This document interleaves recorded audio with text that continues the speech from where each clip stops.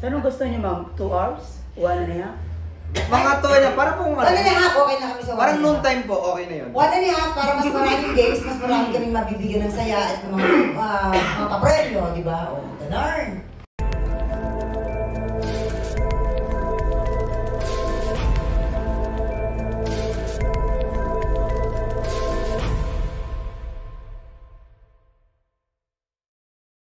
Bakit sa tingin ninyo, swak yung chemistry o samahan ng buong uh, tiktropahan? Para kami mga baliw. Nagkakasundo kami kasi ang ganda ng balance kasi meron kaming kuya, meron mamang. Pogi. No? May, ano na, huwag nag-decide. Sige, sige, sige. Meron kaming Jason, tapos meron kaming, meron kaming beauty queen na alam niyo naman na malakas kumain, construction worker. tapos Taga Iloilo. Pero kami na isa pang future beauty queen na si Faith. Nabaliw. No? Nabaliw, Yun talaga iba yun. Baliw iba yun. pag ano nun. Introduce. Oo. Hindi man, uh, Hindi pa ba? kum- kumikera din na talagang wala, walang kiber sa itsura niya, wala siyang kiber kung... Yung si Faith, minsan nahuhuli namin, kinakausap niya sarili niya. Oo. Pag ginaya namin, kasi baliw talaga. Oo. Pero yung pagkabaliw niya, lumalabas sa TV. Ang ganda ng balance yung ano namin, yung chemistry namin. Kung baga sa isang putahe, kumpleto kami. Kaya pag pinagsama-sama kami, wala na. Wala na. Sayang nga wala yung dalawa eh. Kung ka nandito yun. No, there's one thing that I'm proud of also sa grupo po namin, bigayan po. Walang, uh, walang, Yan. walang binubigan. Um, bagamat iba't ibang, sabi nga ni Mama, iba't ibang contribution namin sa show, bigayan kami. Uh, walang isa kawan. Ganun po. And I think that works. And uh, pag pinanood nyo yung mix, masaya. Uh, walang nagpapabida. Yun.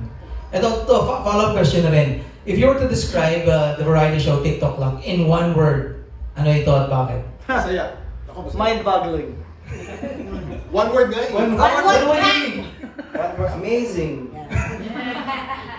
Masaya. Masaya. Ako bukod sa masaya, bitin. Bitin. Ba't bitin? Kasi diba, sa ngayon, ha, sa ngayon, 45 minutes lang kami. So, marami pa kaming gusto eh. five Gusto hours, kaya pa five akong hours. Five hours? Offer pa. Oo. Sa 45 minutes, ilang segments ko yan? Ah, lima. Apat. Lima. Apat, lima, mga ganun. So, nabibitin, bitin pa kami. Alam mo yung, kasi minsan tapos na yung live namin, yung energy namin, dito ko. Ba?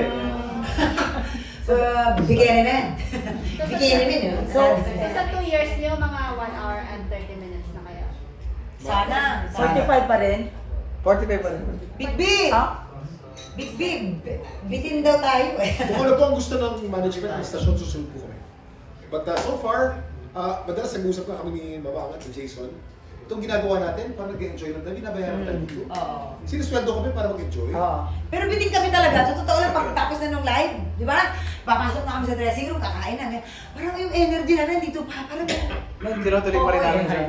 Oo. Habang kumakain. Lalo pag kayo galing kami doon sa segment ng kulit-kulit, parang sana. Anong gusto niyo, ma'am? Two hours? One and a half? Mga to niya, parang kung One and a half, okay na kami sa one Parang and a noon half. time po, okay na yun. One and a half, para mas maraming games, mas marami kaming mabibigyan ng saya at ng mga, uh, mga papremyo, di ba? O, ganarn. Appeal na lang mo sa management na ma one and a half. Bikini me. Bikini me.